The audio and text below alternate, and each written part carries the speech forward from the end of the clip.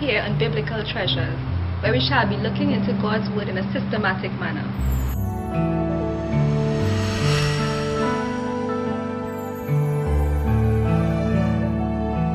Welcome to Biblical Treasures. I'm your host, Natasha Brown Allen, and I'm, we're very happy that you've joined us for this study. We trust that you'll take out your Bibles, that you can follow with us as we discuss from the book of Matthew. Just to inform you that the times have changed for the viewing of this program on Tobago Inspirational Network. So you can look for us on Mondays and Wednesdays, 8 a.m., Tuesdays, Thursdays, and Fridays, 8 a.m. and 8 p.m., and on Saturdays at 7 a.m. So you have many opportunities to view the program, so be sure not to miss it. Invite a friend, family member to view the program so that we all can study God's Word together. Like I said, we continue our study from the book of Matthew, and today we'll be focusing on the Sermon on the Mount found in Matthew chapters 5 through 7, and an abbreviated version is recorded in Luke 6, 20 through 49. As you would discover, Matthew's version is probably three times longer than Luke's version, and we'll probably be able to look today at Matthew chapter 5, and we'll want to look also at Matthew 13. I have with me today Pastor English Newsome. She's the pastor of the Northwest District. Welcome, Pastor Newsome. Thank you. And her husband, Elder Newsome. Welcome. Thank you. As we get into today's discussion, we invite you wherever you are to join us as we have a word of prayer to begin. Let's pray. Dear Jesus, we give you glory and we give you praise for another day, another opportunity to study your word. We pray, dear Lord, that you'll open our minds and our understanding, that as we open your word, O oh Lord, speak to us. Bless each viewer today, we pray, with thanksgiving in Jesus' name. Amen. So as we go to the book of Matthew, we begin at chapter 5. And uh, as we look at the Sermon on the Mount, which can be entitled The Privileges and Responsibilities of Citizens of the Kingdom of Heaven, mm -hmm. we see here a wonderful, wonderful sermon by Jesus himself. In fact, it is the most preached on sermon in the Bible. People talk about it a lot because in it there are a lot of principles to guide us on our path to heaven. And as we look today at the beginning of Matthew 5, we see that Jesus addressed the supreme desire of every human heart. And what is that desire? The desire for happiness. This desire was implanted by the Creator himself and was originally ordained to lead man to find true happiness through cooperation with the God who created him. But what course have man taken? Man attempted to achieve happiness outside of God as an end in itself by a shortcut that bypasses obedience to the divine requirements. Let's look at the first 12 chapters of Matthew chapter 5. I'll ask my panelists, um, Matthew chapter 5, we look at verses 1 through 12, and tell me which one of the Beatitudes or two or three stands out to you, and how has it impacted your life? For me, it would have actually been verse 4. Verse 4, okay. It says, Blessed are they that mourn, for they shall be comforted. Mm -hmm. In my own personal life, I've had um, the death of some close family members, and so I've had mm. to mourn, and I have been comforted by God. Yes. That's wonderful. And you know, when Jesus was leaving, he said what? I send you the comforter. So I want you to know, even as Elder Newsome says, no matter what we might be going through in life, and all of us have had that dreadful experience of losing a loved one. And we've all had that mourning experience. But if we know who God is, we have found comfort in his promises. Um, I like verse 6, which says, Blessed are they which do hunger and thirst mm -hmm. after righteousness, for they shall be filled. I think in this age, uh, where there's so many distraction and we live in a world that there's so many things that appeal to us mm -hmm. that um, appeals to more of our flesh nature and the bible says that if we really and truly have that hunger and that thirst after righteousness indeed god will give it to us it's not just waiting and hoping and wishing for the holy spirit but having that deep desire mm. and going after knowing that god will fill us through his spirit so that verse always because it tells me of the part that I have to do and then God will do the rest. I like that, Pastor Newsome. And in truth and in fact, as you said, in our world, we hunger and thirst after so many things, mm -hmm. mostly wealth or money, status. but there's not that hunger and thirsting after righteousness. And I like that text, I think it's in Psalm that says, As the deer panted after, after the, the water, water brook, so my soul panted after thee. Right. And as you were speaking, I actually got chills through my body. you know, that it's really, really um, an important thing for us in this day and age to hunger and thirst after God's righteousness. That's because correct. it's the only thing that can keep us as we go through these trying times. So I trust that you too will find that desire in the Word of God. And I guess that also couples with um, the other beatitude that I'm excited about, Mhm. which is um, verse 11 and 12. Mhm. It says, Blessed are he, blessed are he when men shall revile you Mhm. and persecute you, and shall say all manner of evil against you falsely for my sake. The response is, Rejoice and be exceeding glad, for great is your reward in heaven, for so pro- pro- persecuted Persecuted, they the prophets which were before you. Mm-hmm. And it is important for us that even as we hunger and thirst to go forward in God's righteousness and to have that passion with Him, that we will know, regardless of what comes our way, and we know that there's a time of trouble that will come, yeah. we will not faint and neither will we waver, mm-hmm. simply knowing of the fact that even those, Christ Himself went mm-hmm. through persecution, and we can stand strong. The Bible says to rejoice and be exceeding glad, you know. It's just the imagery of going through hard times and, And you're just glad. happy because it's like you're, you're on the same level with Christ because, hey, he went through persecution also. So those texts and so on, that, that sort of beatitude, really I'm not troubled by the troubled times that will come. Just can't wait for it. Wow. Um, I like that as well. But as we as we look towards that troubling times, you know, that's a hard one to say. Smile amidst it all, you know. Even when you're going through, as you as you said, um, Elder Newsome, you have a, lo- a lost one, a loved one that has been, you know, for whatever reason. Um, do you smile through that? How can you find peace even in those circumstances? And it boils back down to what that connection you have with Jesus. With- God. Yes. You know, because one day even death itself shall die, and that's one of the assurance that, That we have, have. from God. And so it's not that when you hear the news of a loved one, you're like, yay, but it's reminded that even at, though uh, sin brought death in this world, Yeah. One day God will get rid of death and sin. And we can rest in that assurance and you know this is all coming to the end. And even as more troublesome time Mm-hmm. comes, the Bible says when we see these things happening, look, Look up, up. for our redemption draweth nigh. Hmm. So it's an indication that you know the world is coming to an end. So we must press on. Amen.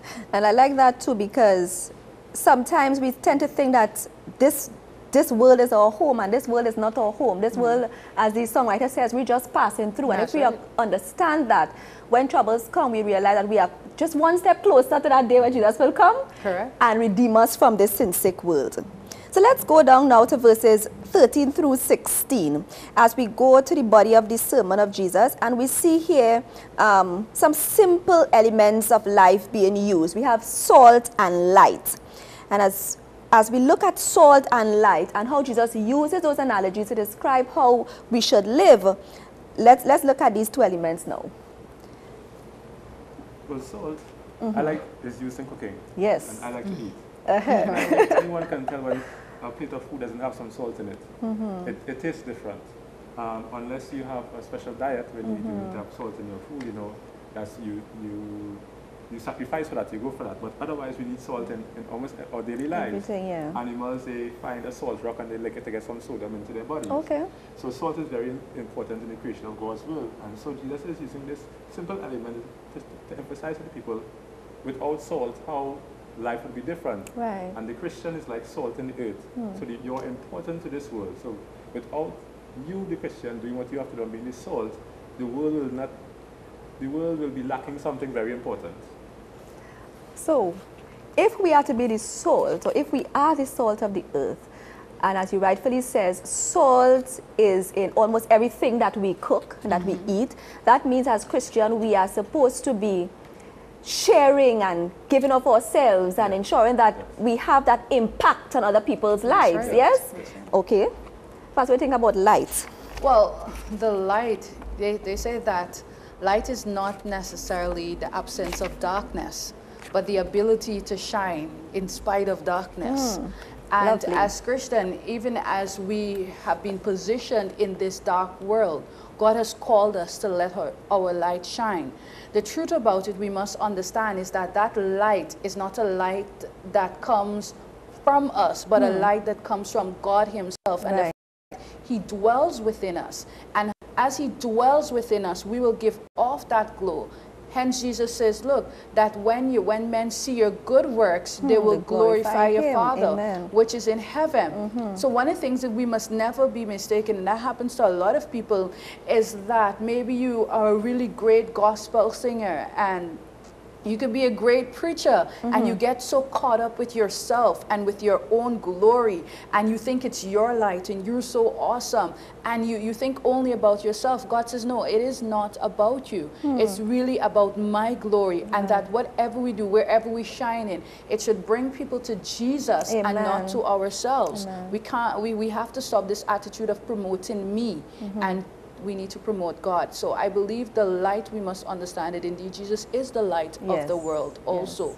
And He has given us that privilege to be the light of the world with Him so that everything else will point to Him and He will receive the glory even as we function here in this part of His vineyard.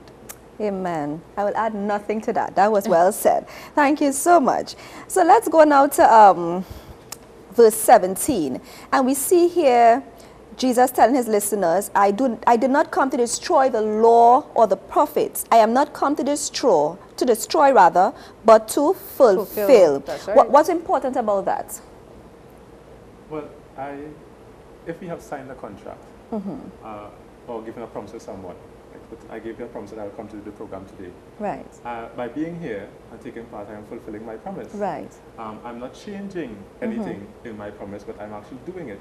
So to fulfill something doesn't mean to destroy or you've done away something that is, has come before. Uh, and in a similar sense, that's what I see Jesus is saying here. That's right.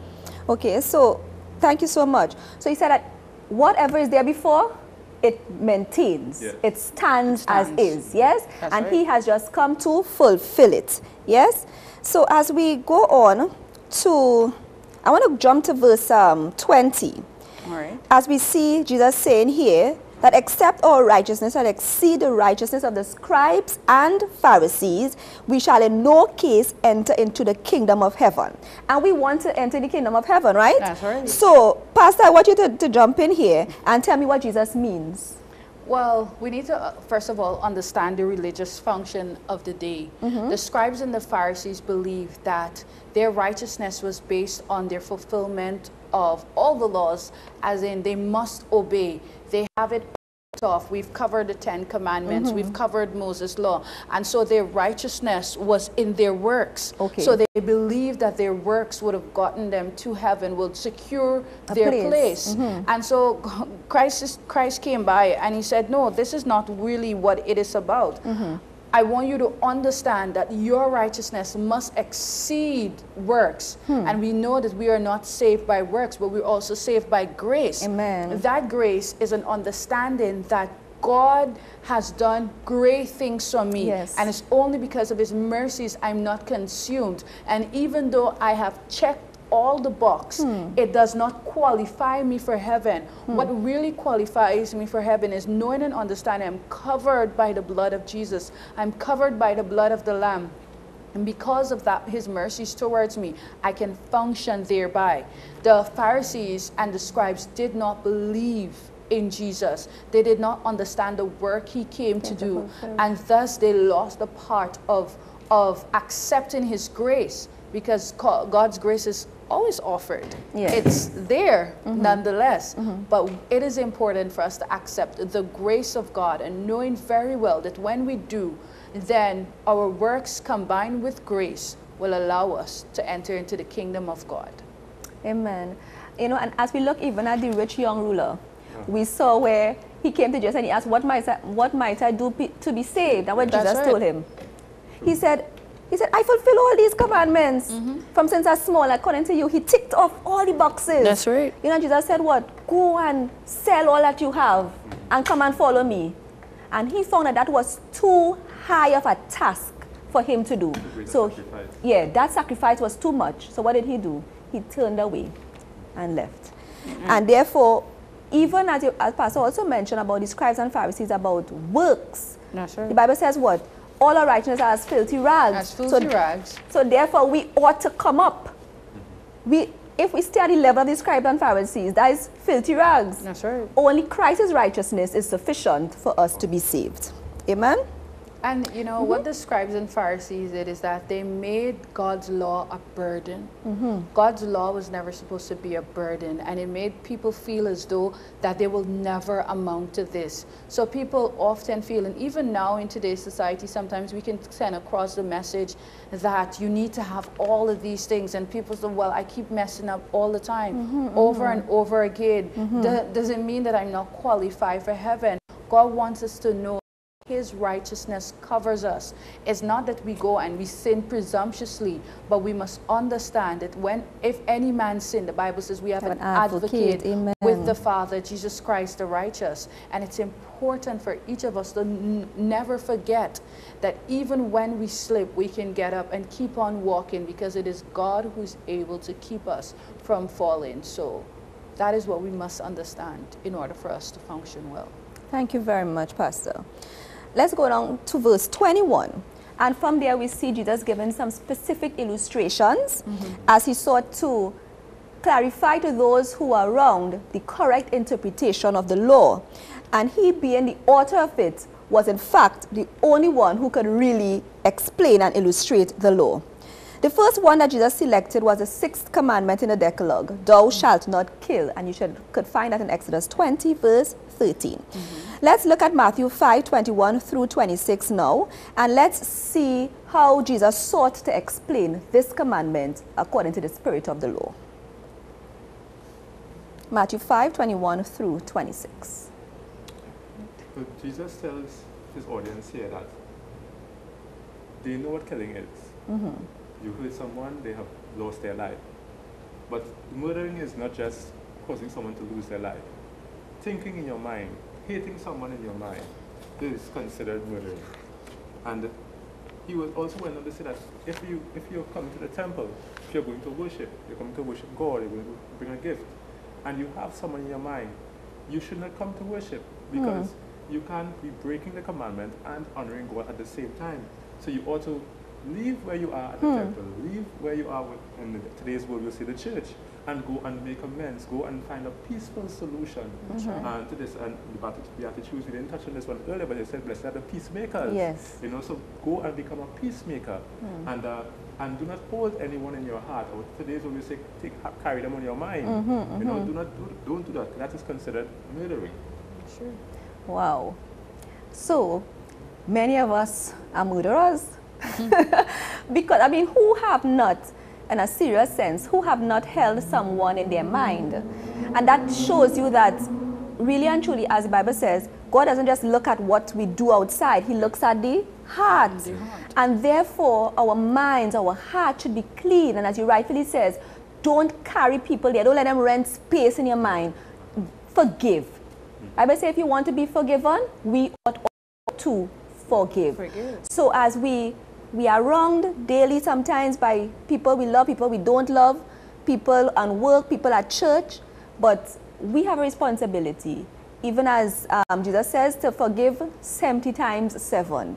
Just keep on forgiving because we are always in need of forgiveness. Sometimes we think that others are always doing wrong against us and we are the you know we are always correct we are always right but it's not always that way and we oftentimes need forgiveness as well so as we forgive others the bible says that we will also be forgiven Right. right Forgive, forgiveness is very, very important. Mm-hmm. Um, there's a saying that says that unforgiveness is like drinking a glass of poison hmm. and hoping the other person will die. So hmm. sometimes, in essence, we're really killing ourselves when we hold other people in our hearts mm-hmm. and you go around upset and you are burdened. And the funny thing about it is that mm-hmm. some people don't even know that you're on their mind. And they're just going along their merry way and you're depressed mm-hmm, and you're mm-hmm. down and you're out and you're having suicidal thoughts and they're living very Normal. happy lives normal. They don't even know what is happening. So sometimes you really have to forgive people. They say forgiveness is like letting a prisoner free, only to find out that that prisoner Is was you. you. Hmm. So that's what's important today. That many people are suffering because of unforgiveness in their hearts, Hmm. and they carry that burden around for years, years, and all it's doing is killing, us Mm-hmm. Killing them. Mm-hmm. inside. So we are self-murderers, suicidal. So we are. And in light of what you said, I heard, um, I heard us saying that forgiveness is not really for the person, you know. It's more for you. For you. Because you rightfully says it frees you Yeah, to get well and, and to move on. and to move on. Amen. So we see here that even hating people, holding people on them on our minds can be equivalent to murder. And we can be left out of the kingdom for this. And we don't want that. We want to be saved when Jesus comes. Oh, yes. So forgive even as Christ forgives you. Let's look at verses 27 through 32 now. As we look at um, adultery, the seventh commandment in the Decalogue, you can also find that in Exodus 20, verse 14. And let's see how Jesus um, explained adultery in that you can commit adultery by not even reaching in bed with that person. Yeah. Let's look at that. I, I, I love how Christ puts, and I want to read the verse. It says, He have heard that it was said by them of old time, Thou shalt not commit adultery. Verse 28 says, But I say unto you, that whosoever looketh woman to To lust lust. after hmm. her hath committed adultery already with her already in his heart. There are many people who call themselves virgins, but they've had sex already. Mm-hmm.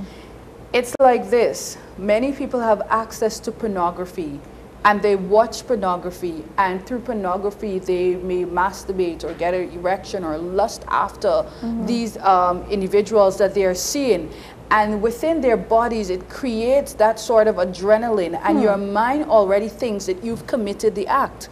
I was reading an article the other day about this young, this um, woman actually, she's uh, in her 30s and she was saying she did not know she was that addicted to pornography until one day she went into an adult store to buy some videos and there was an orgy going on hmm. and then she just participated. Wow. just like that with Wow. total strangers. And that is because she had already feasted her mind on it. Hmm. So her brain already thought so when she's thinking this is her first time this was like hmm. her fifth tenth time she'd already committed the It's a- adultery in her heart. so the right. action was quite simple. Most of the times we wait until the action but the action we've already too far gone. Mm-hmm, so mm-hmm. god is talking about a pureness of our hearts and mind. That's why he said whatsoever things are pure, Pure. whatsoever things are lovely, Lovely. whatsoever things are honest whatsoever things are true whatsoever things of good report hmm. if there be any virtue if there be any praise think on these things hmm. so when you look at somebody and you desire them sexually hmm. you've committed the adultery already in the heart Wow. and not necessarily the action. So it's important for individuals to understand that large effect that Hmm. these things have in their lives.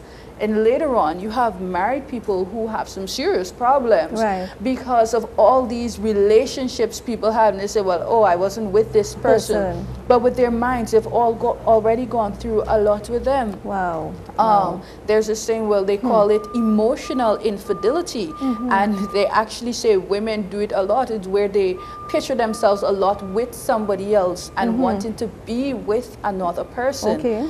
So when, when they actually have this spouse mm-hmm. they're not seeing the spouse in the bed they Wow. see another, another man hmm. and that that can, that can be something very horrendous. That's why Jesus said plainly, look, if hmm. you look upon a woman To or if you look upon a man mm-hmm. with mm-hmm. lust, you've committed adultery already in the, uh, in heart. the heart. So let's not wait until the action. Hmm. That's so deeper because as it- I heard you say that by the time the action is manifested, you've already Mm-hmm. how many times before. Yes. And as I say, really and truly, what we do is a direct result of what we have been thinking Correct. before. So we ought to, as you say, think on pure things, on clean things, on good things, that our minds will always be directed towards God. Mm-hmm. So let's go on now to verses 33 through 37. And as we look at the third illustration of Christ's interpretation of the law, we speak here mostly about swearing. Let's look at that for a moment. I, I see Christ telling us here that as created beings, we don't own anything, not Okay. even the hair on our heads. Wow. And um, we need to be mindful of that. that He is the Creator and that we need to treat Him and the things that He created with respect. Okay. Um, many a times we bounce our toe, and the first thing we call is the, Oh, God. God's, God's yes, we, we call God's name or, or, or some other aspect, and not that we're thinking of God or. And, and it- okay. it, shows that we are not treating that person with respect. We will not be calling out the Prime Minister's name or another religious figure, we'll say the Pope's name just willy-nilly like that. Okay. Um, because we, we show those people respect, or we will not be calling out our parents' names like that. They Mm-hmm. might get a, a telling off, should we call. But I, I, I think sometimes in our minds, God is so far removed that we take His name for, Hmm. for granted. granted. Okay. Okay. Um, and that may well be so because it goes back to, to the, um, the attitude that Pastor would have spoken about earlier about seeking after righteousness. And because we are not seeking after righteousness, he is far removed from us. You understand? And so we treat him, as it were, for want of a better ex- expression, with scant courtesy. Mercy. and so we call his name in vain. And it talks about um, swearing as well. Could, could I even extend that towards making promises and not fulfilling them? Well, in a sort of a light, I want to say that sometimes, um, just put it back for, for swearing, that a lot of people swear to based on the movies they watch. And so sometimes you have good Christians watching shows that are filled with cursing. And they say they have no intention to curse. But the moment their child gets them upset, they find a curse word to come out. And they're wondering why. They're shocked, you know, but you, light has associated itself with darkness, and therefore, in any instant under pressure, darkness will come out because that's what you've been feasting on. Um, when we make promises and we, we swear, the Bible says that you should not swear, not even by the hair on your head, because you can't make it grow, nor by height, because you can't make yourself grow. You should not do those things. Therefore, we should not make promises and deep promises that we ourselves are not sure if we can keep.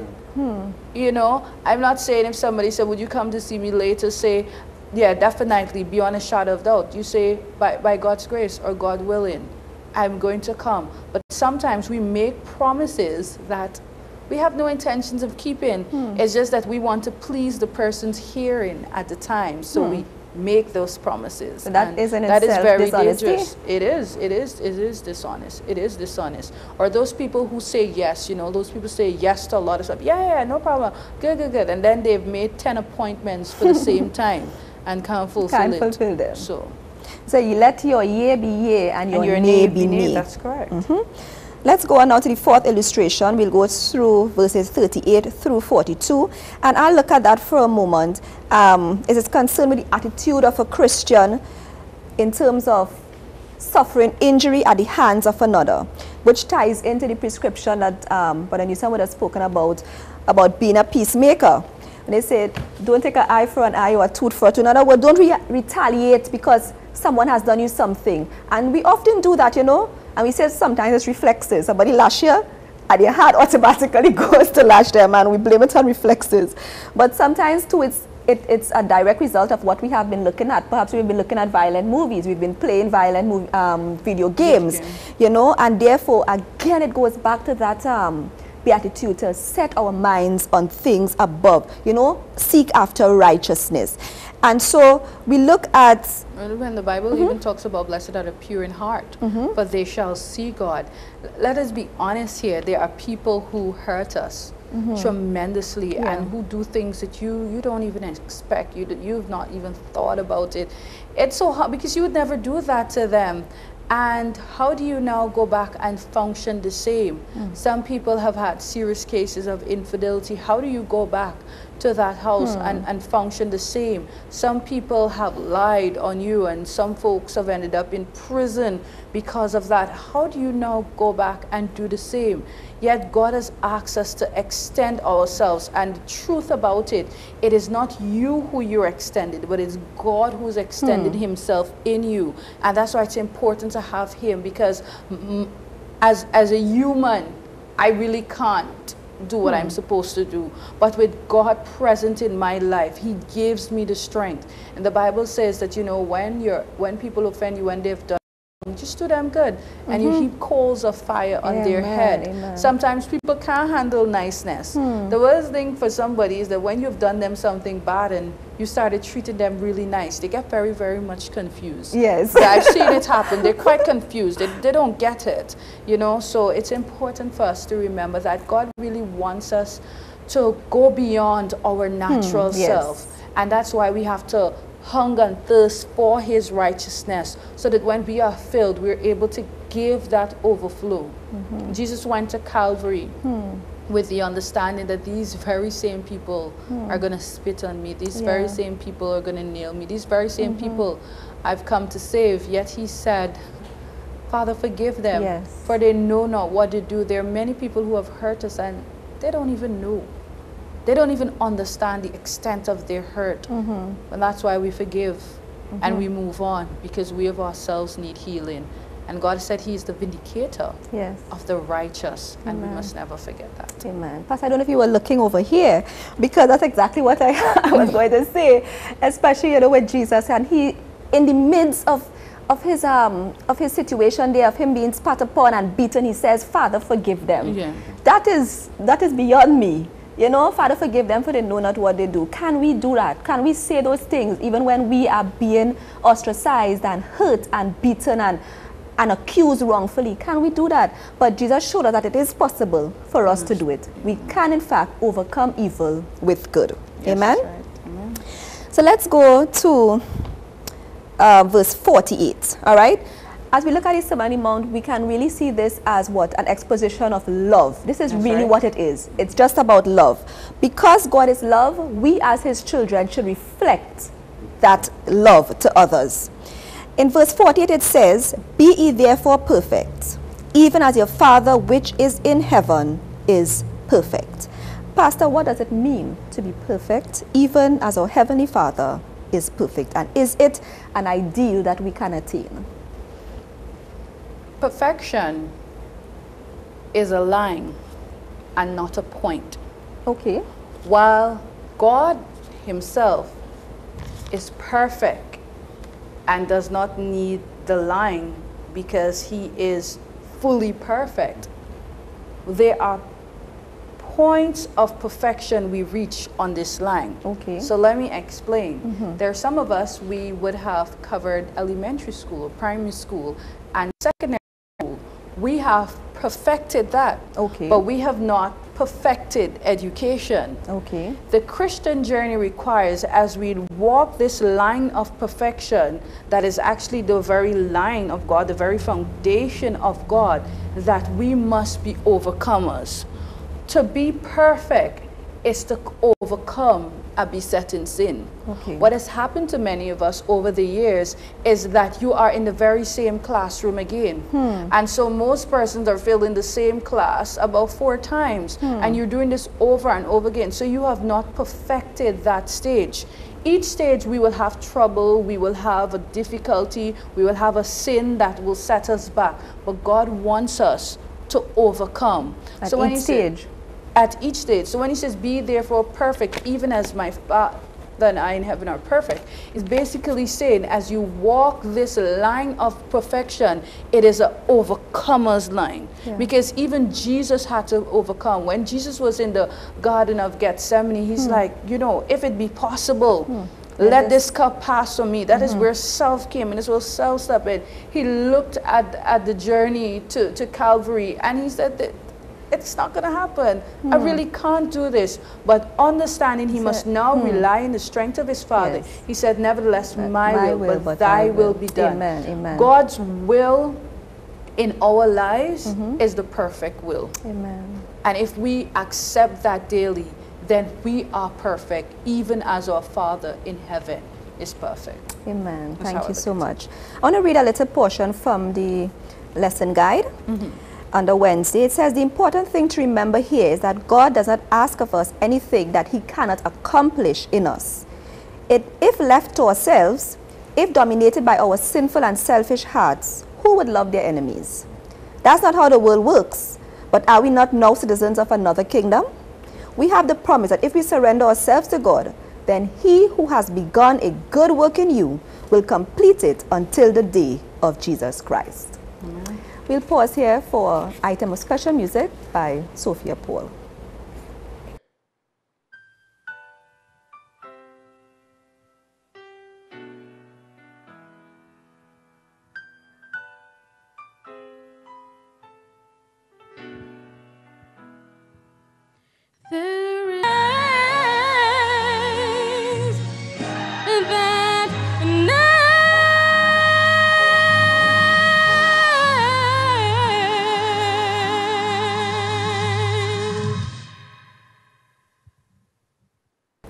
Thank you so much, Sister Paul.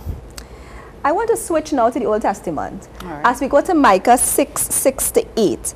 And uh, because I, I see there what I like to call an Old Testament version or summary of the Sermon on the Mount. Right. So let's see, Pastor, if you can show us a parallel the Sermon on the Mount and Micah 6 6 to- through 8. Well, when, when I read the, I think it's important for us to read Yes, it. please. Because um, many persons may not be familiar. So it says that, wherewith shall I come before the Lord and bow myself before the high God? Shall I come before him with burnt offerings, with calves of a year old? Will the Lord be pleased with thousands of rams, or with ten thousands of rivers of oil? Shall I give my firstborn for my transgression, the fruit of my body for the sin of my soul? He hath shewed thee, O man, what is good, and what doth the Lord require of thee, but to do justly, and to love mercy, and to walk humbly With with thy thy God. It's amazing. Before this lesson, I did not know that um, Matthew 5 and this can actually be tied in. But even as I look at the verse, uh, as, at, at these couple of verses, you know, God wants us to really understand that is, once again, it's not about your works. It's not so much about what you do and what you try to do and all these things and God, I'll sacrifice for this. Lord, remember, watch me. I'm giving up this. I'm giving up that. No. But to have that pure heart, to walk justly, the Bible says, to do justly, to love mercy, mercy, and to walk walk humbly humbly. with your God. Hmm. When, when, when we're functioning in our daily life, there are three things we must remember. The first thing, every step you make, it must be ordered by God. Amen, amen. Whatever decision you're hmm. making, whatever thing you wish to accomplish in your life, Yes. you must know that God desires that of you, even if it's a car, what hmm. type of car you may want, even if hmm. it's a house, a job, you must know that your God has consented it. It must be God's divine will and not just his permissive will. Hmm. Because sometimes as Christians, we do a lot of things and then God has to some, we come to God so that he'll put the icing on the cake and we or call it ratify our decision. yeah, we call it God's choice. But no, God is saying, let my divine will be hmm. worked out in your life. Yes. And when we do these things, you know, we're able to accomplish what God desires for us. When we, the, the second thing that we ought to do is to look out for other people. Yes. The Christian part is not just about you walking alone. Mm-hmm. There are many folks we can do things very selfishly. We're very selfish and self-centered hmm. and about my way. Hmm. Sometimes in church people will have great ideas, mm-hmm. but they choose not to share that idea they may not be in the position, they were not elected to that specific office. So hmm. they don't want to say anything. Hence, the idea turned out to be something really, really great, and mm-hmm. another person Gets the gets, the glory. glory. and they, they're offended by that. No, but we're all supposed to be in one work. So hmm. that when we have an idea for the cause of God to go forward and for the glory of God to shine out, it is important that we give those ideas. So we not just look for ourselves, we're looking out for others Yeah. and for the cause of the kingdom. And thirdly, it's for, important for us to remember that every person is a candidate for heaven. Yes. Your neighbor next door, your friend, your family members, the drunkard, the vagrant, mm-hmm. everyone that you pass on the street is a candidate for heaven. What are you doing in assisting them on this journey? Hmm. What are we doing? Are we just giving up on them? We're just going to pass them by? Or are we so focused in this heaven bound train that we don't have time to look over to the right or the hmm. left and to snatch people from, from the army of the devil? Hmm. I want to say that's important that we really and truly walk in the way God wants us to walk. I, I, mm-hmm. I see the text also saying, uh, do not commit a sin or do something wrong simply because forgiveness is available. Okay. You know, the question is asked, what should I bring before God? Mm-hmm. Should I bring a, a thousand rams? Should I bring all these sacrifices? Should I even sacrifice my children? Hmm. But really what God wants me to do good. So Mm-hmm. I've heard persons do a wrong or say something to someone in the heat of the moment and they simply say, I know God will forgive me. So it's Mm-hmm. not because forgiveness is available means we must do wrong. We act, God actually wants us to do good Mm-hmm. and not abuse what is he, the gift of salvation he offers us and the gift of forgiveness which he also gives to us. Amen, amen. Because he didn't say when we sin, the Bible didn't say when we sin, he said if we sin. Right? Because God wants us to live above sin, and as he rightfully says, um, perfection is that progressive work. So God wants us to continually climb ever onward and upward. That as we do so, we can become closer to God. As we get closer to God, we would share that those godly characteristics as we meet others. We would be just with people. We'd be fair. We'll be honest. We would be humble. And that is um, something that is probably far-fetched, that humility part, when Bible says to walk humbly before your God. And we see Jesus being that example of humility. And we too have to exemplify or show forth that same humility. And as Pastor would have mentioned, you know, sometimes you're not in the position. And because you're not humble, that you won't share an idea. Because if you were right. humble, you would share the idea. Because it doesn't matter who gets the glory. Because at the end of the day, someone would have benefited from your idea. Right. And through that, they might have said yes to Jesus. And that is the important thing. Let's see if we can look at probably just a few schools of thought, because there are many schools of thought as it relates to the Sermon on the Mount. We might just be able to look at a few, maybe one or two, because we're almost out of time, viewers. Um, the first one we like to look at is one that says that the Sermon on the Mount is an impossibly high moral standard that drives us to our knees and causes us to claim the righteousness as Jesus as our only hope of salvation, as because we have fallen far short of the divine standard revealed in the Sermon of the Mount. I mean, I see some merit in this um, in this school of thought. Um, Brother Newsome, do you see any merit in this one? But I agree that it is a high moral standard. Mhm. Um, God is God is perfect, and we Yes. are admonished at the end of the Matthew chapter five to be perfect, even as he is perfect, yes. So, and we are born in sin and shaped in iniquity. So He's calling us indeed to a, a, High. high moral standard. Mhm. He, when God created Adam, He created him perfect, Mhm. and he, Adam and Eve were supposed to be remain obedient to Him. But because of their sin, we are now, you know, sin, sin. But over time, we have progressively gone deeper in our sin, and so it has seemed that we have gone so far from the standard. But the thing is, it is not impossible Amen. to to be to what God is asking us because Christ came as a babe. He lived on this earth, grew as a man, and overcame sin. And as a result, now giving us the free gift of salvation and gives us the power to overcome every single temptation that we may face in our individual lives.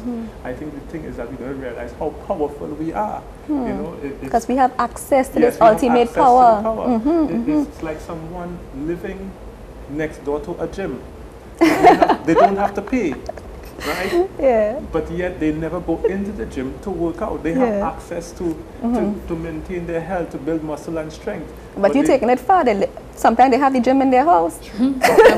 Yeah. and not um, tapping into that. hmm And that's a very important point, you know, because God has said, Come boldly, come boldly before the throne of grace that you might receive mercy and help in time of need. And what do we do? The songwriter asks, Oh, what peace we often forfeit, oh, what needless pain we bear, all because we do not carry everything to God in prayer right. we have that power that's available to us. And I like that um, that um, Brother Newsome would have mentioned that with God all things are possible. And indeed, as I said before, He will not give us a standard that we cannot attain through Him. Okay, because with Him all things are possible. And we also look. Um, let's go now to another viewpoint.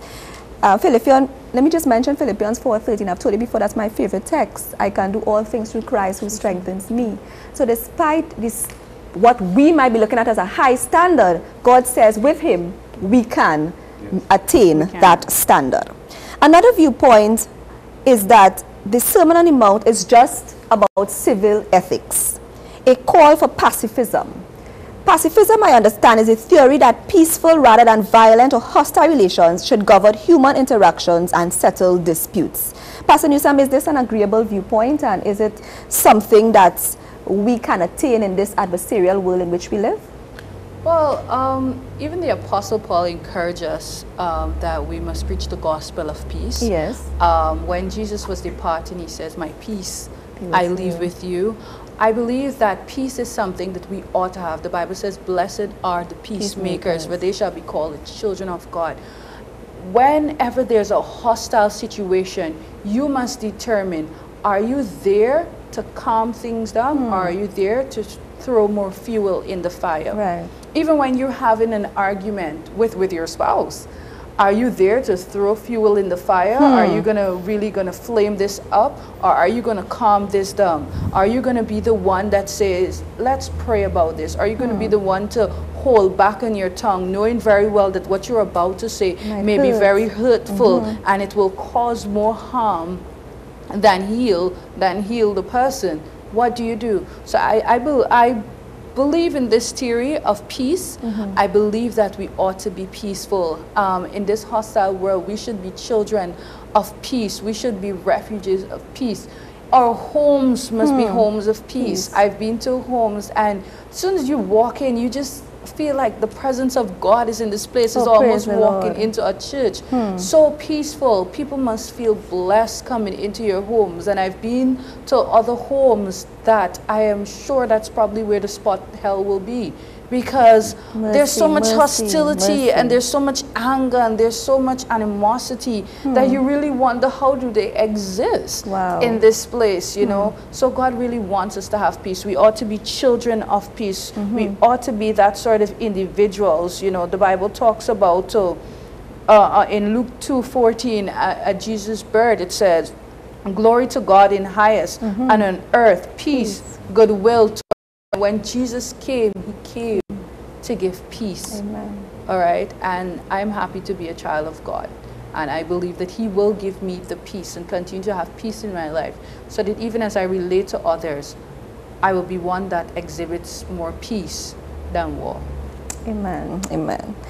Just want to read a little portion here for you in Matthew 5 9. Christ here refers particularly to bringing men into harmony with God. In Romans 8 7, we are told the carnal mind is enmity against God. But Christ, the master peacemaker, came to show men that God is not their enemy. That's right. Christ is the Prince of Peace. Right. He was the messenger of peace from God to man. And justified by faith, we have peace with God. Indeed, Jesus says when he was leaving, Peace I leave with you, my peace I give unto you. Christians are to be peacemakers among themselves, as Pastor would have mentioned, and to follow peace with all men. They are to pray for peace, they are to work for peace, and to make a constructive interest, to take a constructive interest rather in activities that contribute to a peaceful state of society. Psalm 119, 165 says what? Great peace have they which love thy law, and nothing shall offend them. Pastor, before we go, we have a program that is happening. Yes. Could you tell the viewers a little more about that? Well, so far we've been having a wonderful week uh, down at the Marys Hill Junction. We've had that fantastic messages. We will continue this week uh, every night, 7 p.m., except Thursday evening, where we're having this evangelistic campaign captioned Rescued, Ransom, and Redeemed the Power of the Cross. And so we want to invite folks to come by, come and hear a word from God, come allow our lives to be transformed or your families to be blessed. Uh, this Wednesday night, we're having a big, massive prayer session. You know, we know folks having financial difficulties. You need prayers for your relationships. People need prayers for their children. We want you to come by and to bring your burdens to the cross because they say that burdens indeed are lifted at Calvary. So we want to assure you that indeed we're going to be, we're We'll continue to have a blessed time this week, and we want you to bring by your friends, family, relatives, and neighbors. And even those you may think that don't like you, bring them too so that they will love you even more for sharing the gospel with them. Amen. Pastor, you said it's rescued, Ransomed, ransomed, and and, redeemed. redeemed. I love it. And what's the last the part? power of the cross. The power of the cross. Right. And we can tie that right in with the, with the um, Sermon on the Mount. that is essentially what it's about to help us to be rescued, ransomed, and redeemed. Redeemed. And because Jesus went to the cross, all these things are available to us. That's we right. have God's power available to us. We can tap into that power, as um, Brother Newsome was saying. We can tap into that power, access it. It's there. It's available for each of us, equally available for each of us. We may just have a moment now to probably look at um, our closing thoughts, and no, we have a fi- about five minutes left. So let's go to Matthew 13 because I did mention before that I want to tie in Matthew 13 with. Um, with the Sermon on the Mount, right? Where we find several parables showing the application of Jesus' teachings in our lives. And we look quite briefly at the maybe one or two or three of the parables from verses 44 through 50. Who will start us off? We have the parable of the hidden treasure, the parable of the pearl, and the parable of the draw net cast into the sea. I'm looking here, viewers, at Matthew 13, 44 through 50. Well, in the parable of the field, uh, Jesus says that the kingdom of heaven is like another merchant man who is seeking goodly pearls. When he finds one, he knows where it is. He sells all that he has to attain it. Yes. And so I see Jesus telling us that things of his kingdom, the things of him are most important to us. And we should sacrifice everything else to ensure that we are pursuing the things of his kingdom. Mm-hmm. Earlier in the book of Matthew, Matthew chapter 6, verse 3, he says, Seek ye first the, The kingdom, kingdom of of God and his righteousness, and all these things shall be added unto you. Mm-hmm. And he doesn't specify what all these things are, but God will supply all, All of our our needs. needs. Amen. And his, the cattle upon a thousand hills are his. him. Amen. You know, so we, we need not to fear. But what God is saying, seek, come after me. I, I created you. Yes. I know you. Take, take care of what is most important for your spiritual need. Hmm. And I will worry about everything else that you are in need of. We serve a wonderful God, isn't it? Excellent. he will supply all our needs. That- Just seek Him first, Yes. and all other things will be added unto us. That's a wonderful promise. Pastor? Um, I like the, the verse, verse 4 talks about the man going into the field mm-hmm. also. And it says that again, the kingdom of heaven is like unto a treasure hid in a field, the which when a man had found, he hide it, and for joy thereof goeth and selleth all that he had, hmm. and buyeth that field. Hmm.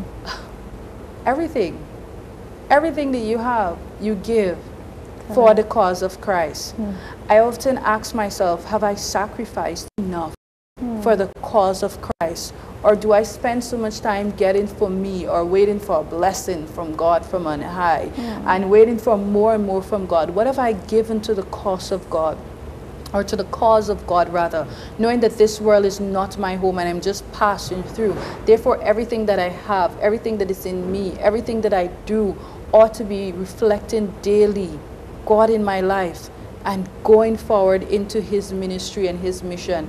And I pray that, you know, as I continue this Christian pathway, that I will rest assured in everything I do is of God. Amen. And I just like how the Bible ties everything together because, again, we talk about that sacrifice and what sacrifice we are willing to make for this prize that we want. We want to be saved. We want to go to heaven, but are we willing to make the sacrifices to get there? And I trust that we will be willing to make the sacrifices. We won't be able to go through all of the verses with you. We trust that you'll, in your quiet time, study Matthews 5 through 7 and Matthew 13 in your personal devotion. In totality, the Sermon on the Mount is an extraordinary description of the life of the citizens of the kingdom. Christ calls us to go beyond the letter of the law and live by the spirit of the law. The Christian's moral and spiritual life must transcend the thou shalt nots to embrace the thou shalt be's. We'll end here with a word of prayer. Join us as we pray for you. Pastor, could you pray for our viewers? Let us pray. Loving God and Father, we thank you so much for this wonderful lesson. We ask, Lord, that you please bless all our viewers and even bless us here on the panel. Help us that every day, whatever we do, wherever we go, and whatever we say, we hmm. will function according to your will until you come. In Jesus' name we pray. Amen. Thank you, viewers, and thank you, panelists. God bless you until next time. And remember, you are blessed to be a blessing.